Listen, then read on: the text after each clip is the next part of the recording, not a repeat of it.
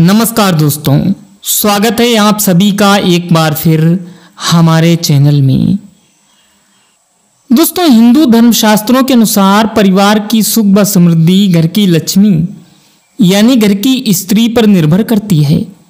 बल्कि धार्मिक ग्रंथों के अनुसार देवता भी अपनी अर्धांगिनी को ही अपनी शक्ति मानते हैं।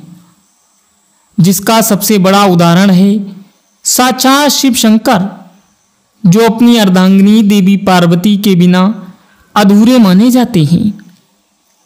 प्रिय दर्शकों हिंदू धर्म में स्त्री को अन्नपूर्णा, लक्ष्मी और वैभव लाने वाली माना जाता है। ऐसे में महिलाओं के लिए हिंदू धर्म के नियमों का पालन करना ज़रूरी होता है। अगर कोई महिला इन नियमों का पालन करे तो इसका परिवार आर्थिक स्थिति पर मतलब इन नियमों का पालन ना करे तो इसका परिवार आर्थिक स्थिति पर बुरा प्रभाव पड़ता है।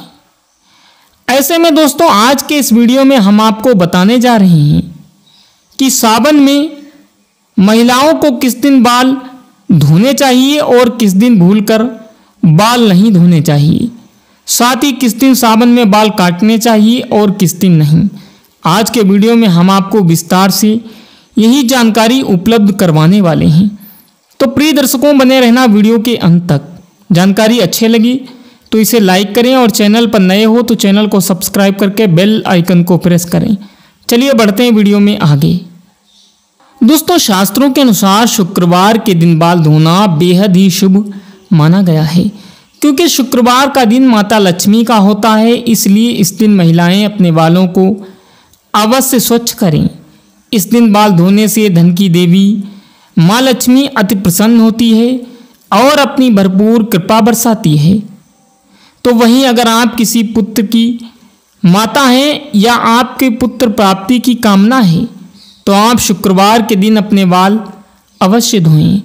इतना ही नहीं, शुक्रवार के दिन बाल कटवाना भी शुभ माना जाता है। दोस्तों, आपको बता दें, कुंवारी कन्याओं को बुधवार के दिन भूलकर भी बाल नहीं धोना चाहिए।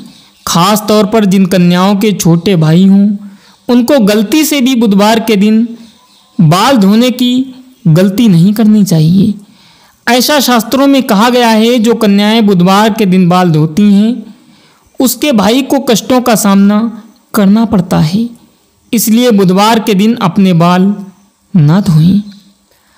दोस्तों, आपने अक्सर देखा होगा कि आजकल कोई भी शुभ त्यौहार या शुभ मुहूर्त या तिथि हो, महिलाएँ अपने बालों को कटवाने या धोने से पहले बिल्कुल भी नहीं सोचती लेकिन आपको बता दें ज्योतिष शास्त्र और वास्तुशास्त्र के अनुसार किसी भी शुभ मुहूर्त या शुभ त्यौहार पर ना ही बाल धोने चाहिए और ना ही कटवाने चाहिए। खास तौर पर पूर्णिमा, एकादशी और अमावस्या के दिन गलती से भी बाल नहीं धोना चाहिए। आपको शुभ तिथि से पहले ही ये सभी काम कर लेने चाहिए।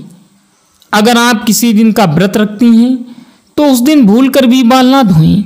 जैसे आपने सोमवार का व्रत रखा है तो उससे एक दिन पहले ही बाल धोकर शुद्ध हो जाएँ। लेकिन व्रत वाले दिन बाल धोने की गलती भूल कर भी नहीं करना चाहिए। अगर आपको किसी कारण बस व्रत वाले दिन बाल धोने पड़ जाएँ तो आप अपने बालों में कच्चा दूध लगाकर बाल धो सकती हैं। दोस्तों, इसके अलावा सुहागन महिलाओं को गुरुवार के दिन बाल नहीं धोना चाहिए। न सिर्फ़ महिलाओं को, बल्कि पुरुषों को भी गुरुवार के दिन बाल नहीं धोना चाहिए। आपने कई बार सुना होगा कि गुरुवार के दिन घर में पोछा नहीं लगाना चाहिए। क्योंकि बृहस्पति देवताओं के गुरु माने जाते हैं तो ऐसे में अगर आप गुरुवार के दिन बाल धोते हैं तो इससे घर की आर्थिक स्थिति पर बुरा प्रभाव पड़ता है।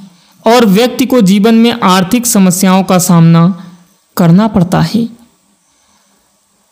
दोस्तों, आपको बता दें, शनिवार का दिन शनिदेव को समर्पित है। ऐसे में इस दिन ना ही बालों में तेल लगाएँ और ना ही अपने बालों को स्वच्छ करें। ऐसा करने से शनि की कुदृष्टि हमेशा आप पर बनी रहती है। आइए दोस्तों, वीडियो में जान लेते हैं कि कौन से दिन महिलाओं को भूल कर भी बाल नहीं कटवाना चाहिए। आइए ये भी जान लेते हैं। दोस्तों, शास्त्रों के अनुसार सावन में बाल नहीं काटना चाहिए। यह एक धार्मिक मान्यता है, जिसका पालन वर्षों से किया जा रहा है। किसी भी मान्यता की शुरुआत काल, प्रसंग और स्थितियों को देखकर की जाती है। इस संबंध में भी कुछ ऐसा ही है, जिसके अनुसार पहले के समय में पर्याप्त प्रकाश व्यवस्था, सुरक्षित उपकरण और कौशल का अभाव था। जिससे बाल कटवाते समय चोट लगने या घाव होने का खतरा रहता था। सावन के महीने में इस चोट या घाव में संक्रमण और मवाद हो सकता है। सावन बारिश का समय होता है। इस समय किसी कट या घाव के कारण त्वचा में संक्रमण हो सकता है। यही वजह है कि सावन में बाल कटने से मना किया जाता है।